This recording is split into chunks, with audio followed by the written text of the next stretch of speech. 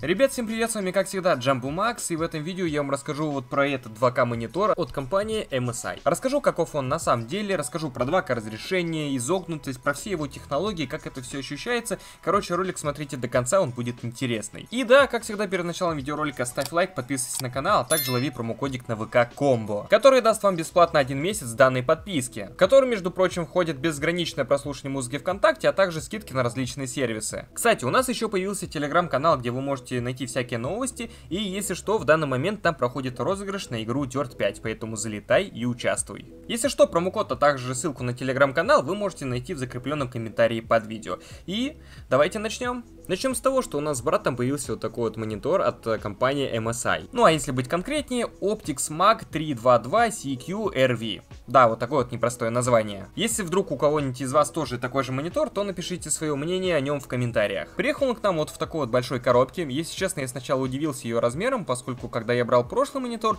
он не был такой большой. Этот же монитор, а вернее его диагональ, составляет 31,5 дюйма, что довольно круто, и поэтому коробка довольно-таки большая. Если что, вот так вот моник выглядит в собранном состоянии. Вот такая вот у него четкая прочная ножка. В ней есть вот такой вот вырез под провода, и она позволяет без проблем двигать экран вниз-вверх, а также чутка наклонять его. Хоть угол здесь и небольшой, но все равно можно подстроить под себя, как вам вздумается. Первый раз, когда мы с братом его собрали и поставили, в первую очередь нам бросилась в глаза его диагональ. Как вы можете заметить, с моим прошлым моником он прям огромный. Может быть на видео это не так выглядит, но в жизни он кажется намного больше. Это на самом деле мой первый монитор с такой диагональю, на котором я вообще поиграл, но о том, как это ощущается, о изогнутости я расскажу чуть позже. Несмотря на то, что его корпус довольно тонкий, имеется и массивная часть. Находится она снизу, и помимо всех этих разъемов, а именно 2 HDMI, DisplayPort, порт под наушники, интернет-порт и 2 USB, есть еще и RGB подсветка, которая будет украшать вашу стену, если монитор будет стоять почти вплотную. Короче, для тех, кому нравится то, что светится, она будет только в тему. Также на задней стороне есть вот такой вот аналог, с помощью которого можно без проблем управлять настройками монитора. На самом деле это очень удобно, а самое главное интуитивная штука, чем в моем прошлом монике. Да, первый раз, когда вы будете настраивать монитор, для вас это покажется может быть непривычно, поскольку глядя на монитор,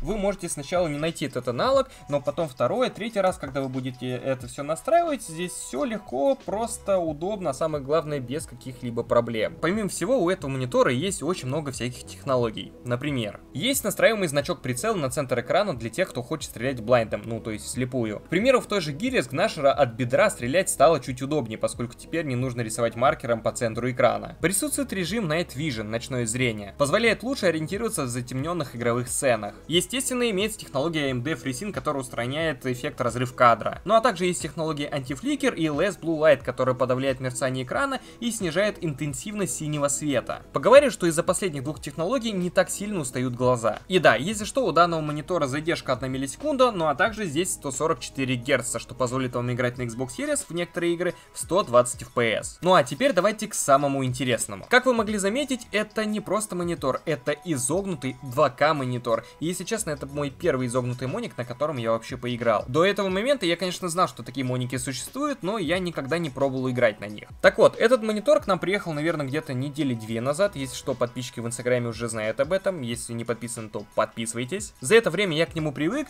и хочу сказать, что изогнутость это прикольная штука, но сначала непривычная. Первый раз, когда я его включил, появилось какое-то странное чувство, типа всегда экран был плоский, теперь он изогнутый, и изначально непривычно было смотреть на какие-то плоские объекты по типу меню дашборда Xbox. Ранее я еще читал, что многие пишут, что на изогнутых такое себе играть в шутерах, но я так сказать вообще не могу. Лично мне изогнутость и в то же время диагональ подарили, наверное, новый experience, и основывается он в том, что я сижу к монитору практически в упор, а если быть точнее, на вытянутую руку. И в этом случае и диагональ, и изогнутость данного моника меня, если честно, прям погружает в игру. То есть, глядя на экран, я будто абстрагируюсь от мира вообще, и ничего кроме игры я не вижу. Если что, для справки, у меня есть 4К телек, он больше данного монитора, но там нету такого эффекта, я пришел к выводу, что вот именно эффект погружения создается именно из-за изогнутости. Когда вы начинаете долго играть на этом монике, то вы привыкаете к изогнутости, она не кажется как изогнутость, но погружение в игру остается прежним. На изогнутом монике есть что во все игры играть хорошо, но в гонках это будто двойное погружение, то есть для гонок изогнутость это просто вот кайф. Кстати, еще одна забавная ситуация происходит тогда, когда вы привыкаете к этому монику и начинаете при этом смотреть на моник, который плоский, и создается такое ощущение, типа, блин, почему ты не изогнутый, почему ты какой-то плоский, какой-то вот не такой. То есть после изогнутого моника смотреть на стандартный немножко непривычно и как бы создается эффект привыкания. Да, он отходит за короткое время, но все равно оно есть. Сама диагональ моника мне понравилась, несмотря на то, что я не люблю что-то большое. Напомню, кстати, что здесь 31,5 дюйма.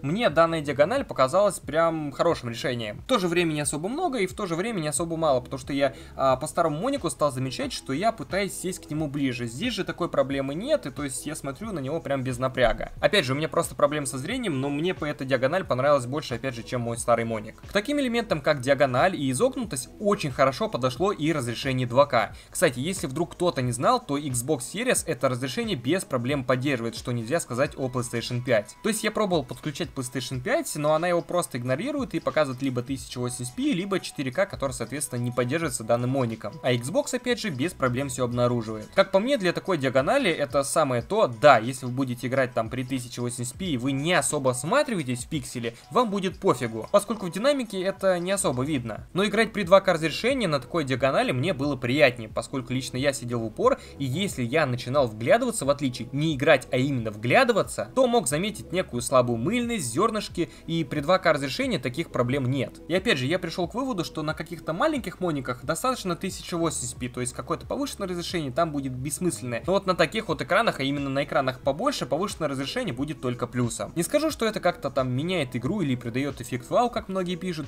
но тем, кто знает про разрешение и его ценит, с этим показателем будет спокойнее. Ровно так же, как и с очень маленькой задержкой в 1 миллисекунду и с возможностью 120 FPS. Если говорить в общем, то моник мне понравился, офигенная диагональ, очень понравилось изогнуться, это плюс к погружению однозначно. Очень нравится, что все актуальные технологии здесь также присутствуют и, естественно, радует наличие 2К, 144 Гц и задержка в 1 миллисекунду. Каких-то недостатков я не нашел, единственное в интернете писали, что здесь есть какие-то засветы по углам, но когда я играл, я ничего подобного не заметил. Поэтому, если кто-то сомневался, можете смело его брать, лично мне и особенно моему брату он капец как понравился. В принципе, вот такой вот видос, вот такое вот мнение, обязательно пишите свое в комментариях, не забывайте ставить лайк, если понравился видос, подписываться на канал и большое спасибо вам за просмотр. До новых встреч!